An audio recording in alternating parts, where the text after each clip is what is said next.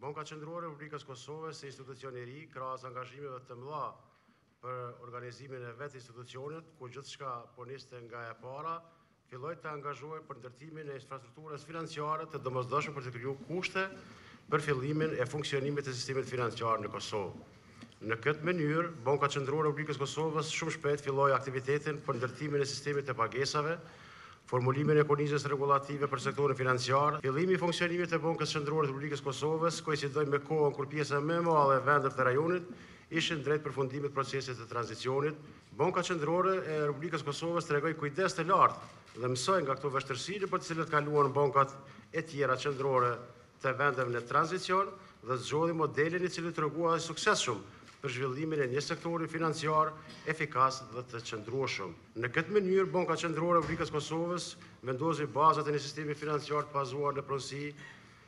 private dhe hapi dyert për hyrjen e institucioneve të huaja financiare në Kosovë. Po ashtu Banka Qendrore e Republikës së Kosovës në vazhdimsi ka ndjekur një politikë të shëndoshtë të licencimit, e cili ka shërbyer si fundament i zhvillimit të shëndoshtë të sistemit financiar në Kosovë. And yesterday, uh, I witnessed the, uh, the new logo of the, uh, the Central Bank of Kosovo, together with Governor uh, Mehmeti, um, that the, uh, marked the new beginning, um, a new episode uh, of the Central Bank.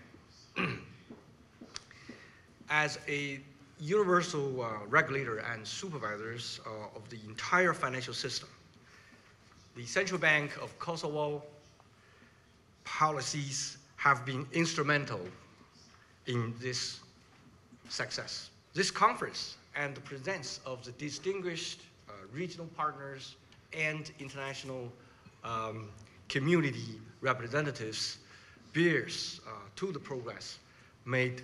uh, by the uh, Central Bank of the Kosovos, as uh, just highlighted by the Excellency President as well. So today, in the rest of my remarks,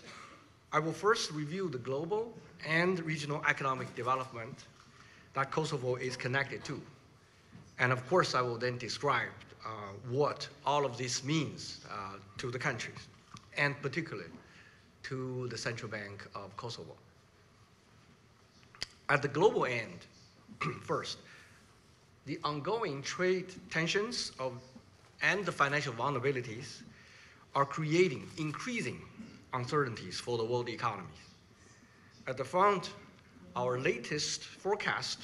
are for global growth uh, to be around 3% for this year, 2019.